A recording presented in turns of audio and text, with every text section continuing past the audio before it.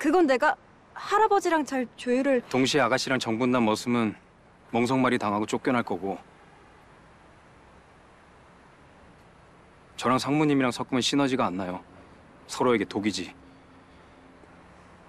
민트는 민트끼리, 초코는 초코끼리 그렇게 살아야죠.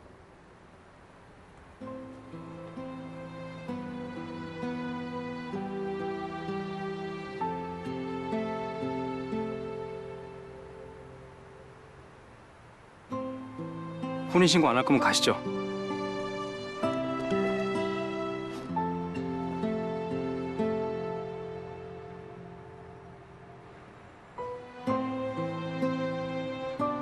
진짜 나 좋아해? 정말 박 차장한테 내 단점이 재벌인 거야? 네.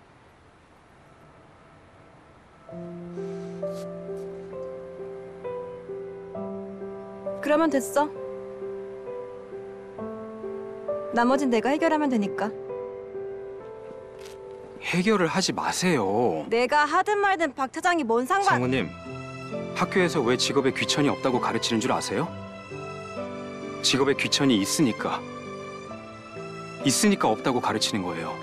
직업도 사람도 신분도 여전히 귀천이 있어요. 겉으론 평등한 사회같이 보여도 요즘 세상에 무슨 세상이랑 싸우려고 하지 마세요. 큰 걸 얻고 싶으시면 작은 건 포기하셔야죠.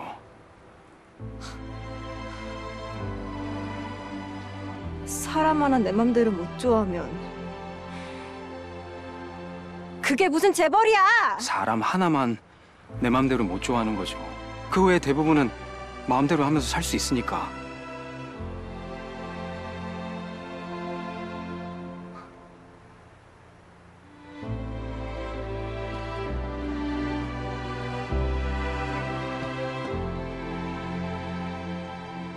안 가실 거예요?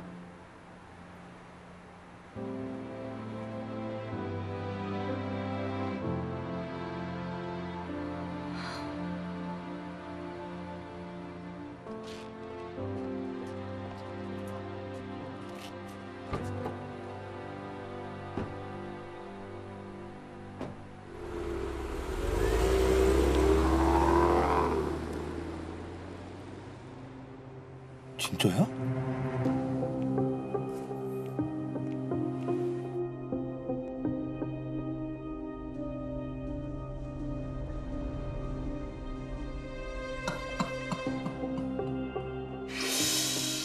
강한나 상무님 회사 생활 즐겁게 하고 계셨네. 음. 저출산 문제도 심각한데 정분난 젊은 남녀를 떼어놓으면 되나? 적극적으로 도움을 드려야지.